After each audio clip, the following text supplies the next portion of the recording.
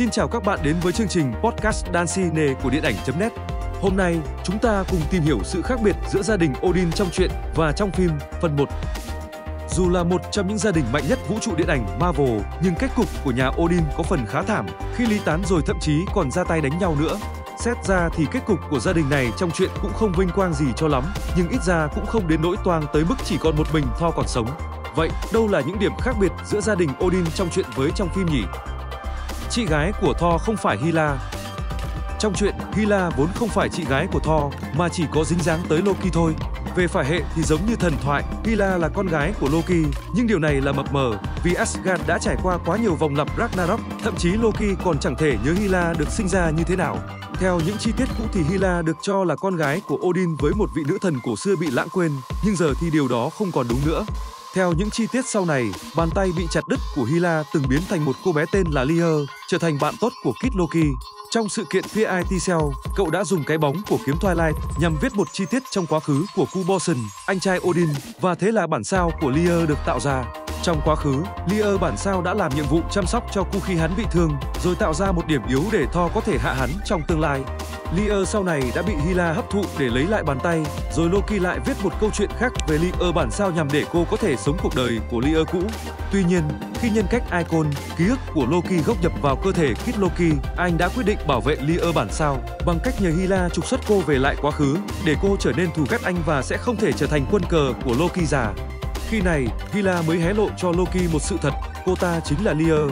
Nói cách khác, việc Loki nhờ Hela đẩy Lear bản sao về quá khứ đã tạo ra một vòng lặp thời gian, khiến cô bé trở nên mạnh mẽ, rồi trở thành nữ hoàng thống trị theo sau này. Chính vì Lear bản sao là một tạo vật do Loki tạo ra bằng cách sử dụng Twilight Shadow, nên Hela mới gọi hắn là cha, chứ không phải vì hắn đẩy xe với cô nữ thần nào đâu nhé. Nhắc lại về thần thoại, người ta thường nói Hela là con gái của Loki với Angerboda, nhưng xét về đặc điểm thì họ chỉ cùng nhau sinh ra rắn do Mungan và sói Fenris thôi. Lý do là vì Angerboda có gen sói từ cha là Vakolak, thần quỷ sói, tạo vật của cổ thần Chithon, và gen rắn từ mẹ là Echidna, hậu duệ của Fosi, tạo vật của cổ thần Seth. Nói tóm lại, nguồn gốc của Hela khá mập mờ và chỉ có câu chuyện về Lear thì mới là tín thôi. Những tình nhân của Odin và sự ra đời của Thor trên phim, việc Odin có mối tình khác ngoài Frigga vốn không hề được nhắc tới, nhưng trong chuyện thì khác. Odin vốn cũng có thể coi là đào hoa đấy.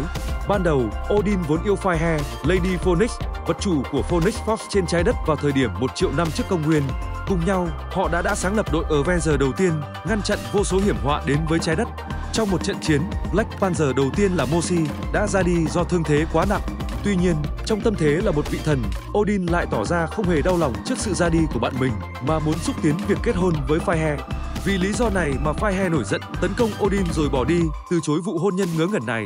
Tuy nhiên, cô vẫn còn yêu ông ta và cũng lo rằng Odin sẽ vì thất tình mà bỏ bê nghĩa vụ bảo vệ trái đất nên đã đi thuyết phục cổ thần Gia kết đôi với ông ta. Kết quả của mối tình mới này là Thor đã được sinh ra, nhưng việc này khiến Gia trở nên kiệt sức, yếu đuối. Trong khi đó, Odin lại đi nhậu nhẹt và chẳng quan tâm gì đến con cái cả. Nhân cơ hội này, Lofi kéo bè kéo cánh tới tấn công, khiến Thor bị một tên khổng lồ băng đánh trúng.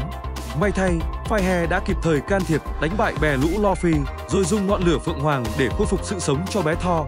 Nhìn chung, Firehair yêu thương Thor, dù là con trai của tình cũ, Phoenix Force do ảnh hưởng của vật chủ cũ nên nhận bản thân là mẹ Thor, còn Gia thì cũng coi Firehair như người mẹ thứ hai của con mình.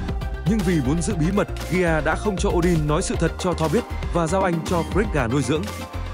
Trên đây là một số chi tiết khá khác biệt về gia đình của Odin trong truyện và trên phim.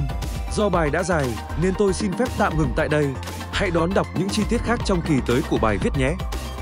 Cảm ơn bạn đã lắng nghe podcast Dancine. Nếu bạn có ý kiến hoặc đề tài muốn thảo luận, hãy gửi ở bình luận bên dưới. Hẹn gặp lại bạn trong số tiếp theo được phát sóng vào ngày mai.